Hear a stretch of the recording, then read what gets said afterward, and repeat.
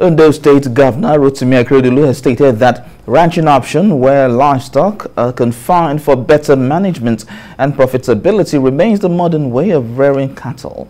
Governor Akeredolu spoke at the five-day training for stakeholders and farmers on the benefits of feedlots operational system to discourage open grazing practice.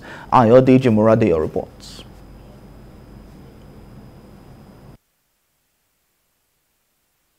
The anti-open grazing law has become operational in Ondo State following the signing of the bill into law by Governor Rotimi Akeredolu.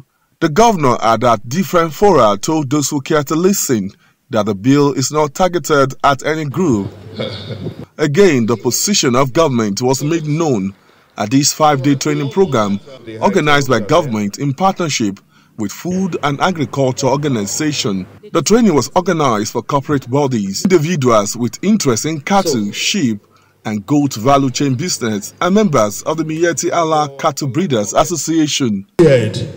Towards Governor Rotimi Akeredolu was represented at the event, explained that feedlot operational system is a variant of ranching where livestock are confined for better management and profitability. He said the training is part of his plans towards promoting peaceful coexistence among residents of the state. It will be very beneficial even to the herders themselves. Moving from one place to another, they are losing a lot of uh, resources. But if they stay in a single place, the animal will be more heavier, will be more okay. They themselves, they will have time for themselves, and their children too will go to school.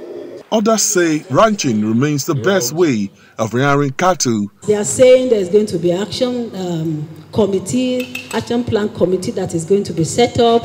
Um, there are plans to ensure that um, ranches or the grazing reserve. All of us will live in peace and will be able to expose uh, the criminals that are hibernating uh, in the forest. You will agree with me that one, the method we are open grazing method is not benefiting anybody. It's not benefiting the herders. It's not benefiting the owners of those cattle. Some participants also speak on their experience in the last five days. For me, it's good for me, and I'm in full support of it because it's a welcome development.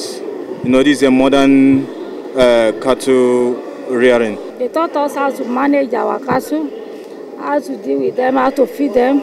This thing, this program that we are doing is Operation Feed the Lot System program.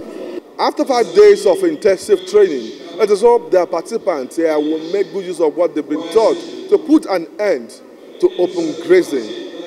Ayodeji Moradeyo, TVC News, Akure.